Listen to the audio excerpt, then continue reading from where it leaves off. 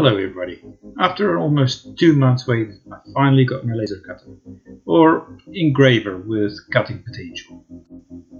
I settled on the NEJE Master 2 Plus with a 40 watt laser. That also be aware that's 40 watt input.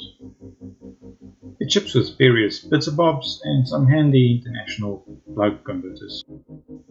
Power supply 12 volts, 4 amps, so 48 watts. Hmm, that's cutting it a bit close. The y-axis pre-assembled.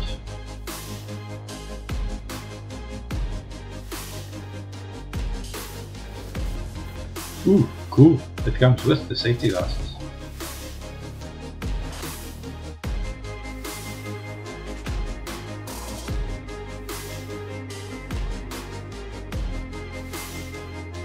And the x-axis.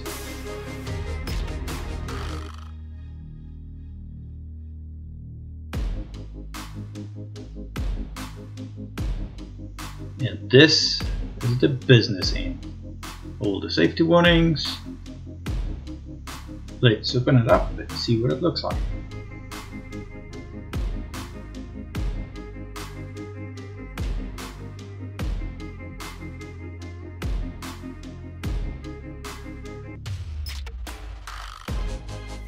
Okay, that's 40 watt input and it's about 15 watt optical out. That right there is the laser LED and some optical protection.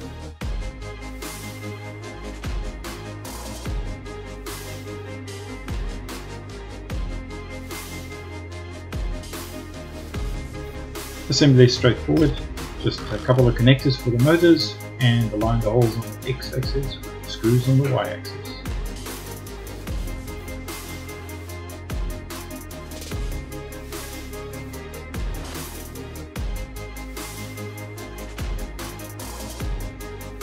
In the bits and bobs bag, there are a few nuts to tighten it all down. There's also some sample material to cut with engrave, so cardboard, acrylic, wood, a brush, I don't know what that is, some aluminum, uh, brackets, Allen key, and small spanner.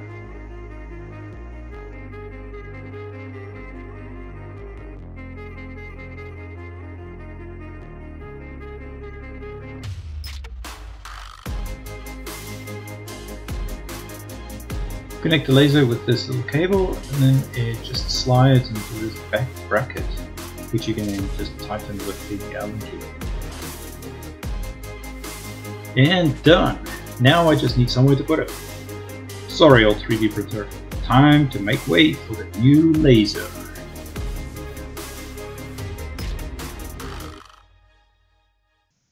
On the tutorial page inside the software, can get a bit more detail, see it says 40 watt input, 15 watt optical out, which to be fair is still quite high for a laser diode. The photo gallery has tons of stuff, but I suggest if you like something you right click and add it to favorites because it's quite hard to find if you scroll away. Once you selected a picture, you can just click on it.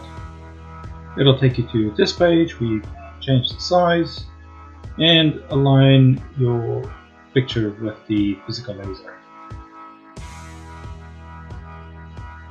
Okay, enough messing around, let's cut something.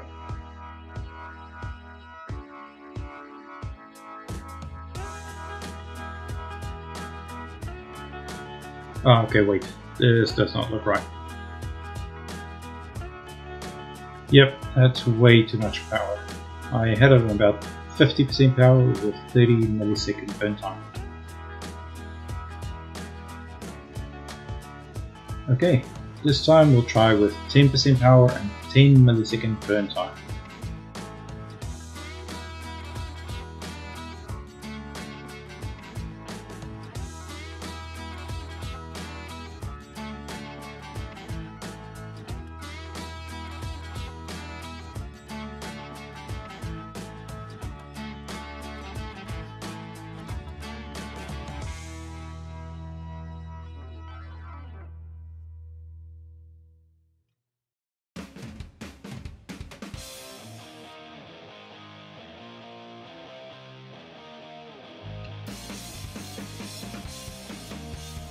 That looks way better.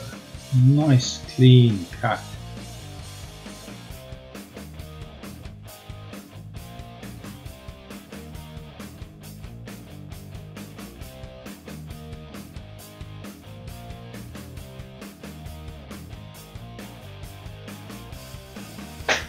Trying some thicker cardboard, 50% power and 10 millisecond burn time.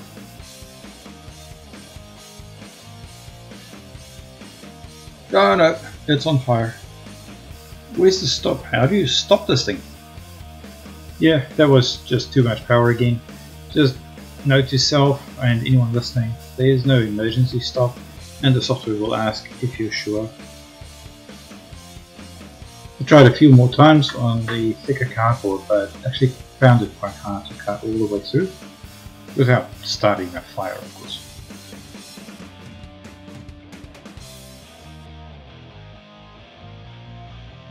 Tried some other materials as well. This is 3mm balsa wood, 50% power, 10 millisecond burn time with 3 passes.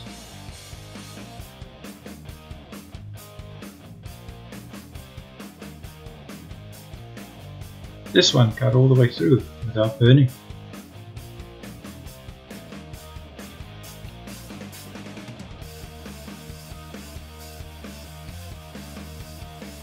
Also tried some 3mm foam rubber, power was 10%, burn time 10 milliseconds in a single pass.